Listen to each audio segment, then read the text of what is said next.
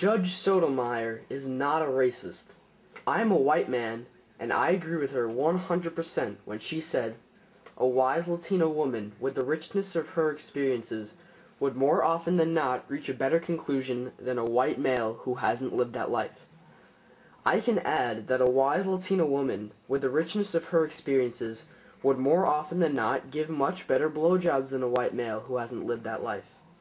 Peace.